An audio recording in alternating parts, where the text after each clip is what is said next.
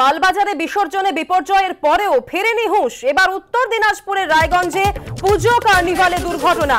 গরুর গাড়ি ছেড়ে ছুটল উন্মত্ত বলদ। উন্মত্ত বলদের গুতোয় জখম হয়ে একজনের মৃত্যু।